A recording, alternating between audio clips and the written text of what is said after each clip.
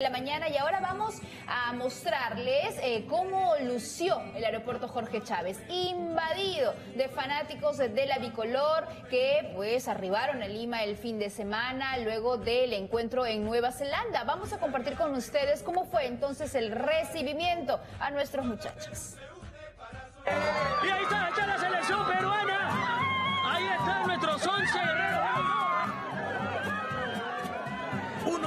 Desfilaron nuestros guerreros seleccionados para deleite de los hinchas.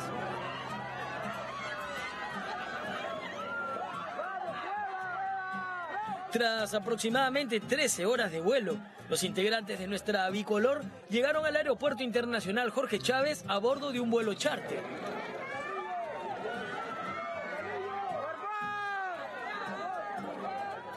El querido Oreja Flores, la Foquita Farfán, San Pedro Galese, Aldo Corso y demás integrantes del equipo de todos llegaron con dos horas de anticipación, pues el arribo estaba programado para las 8 de la noche del último sábado. Sin embargo, nuestros guerreros pisaron tierras peruanas a las 6 y 30 de la tarde.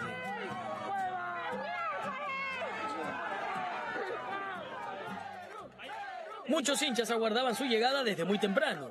Las camisetas blanquirrojas, vinchas y el buen ánimo invadieron la sala de llegadas internacionales.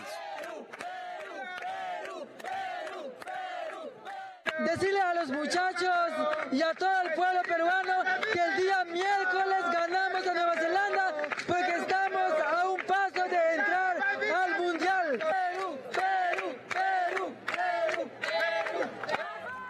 Al llegar, los seleccionados avanzaron raudamente hacia el bus que los trasladaría. El último en salir fue el Tigre Gareca, quien lucía de buen ánimo. Quien brindó las primeras palabras por parte de la selección fue Juan Carlos Aulitas.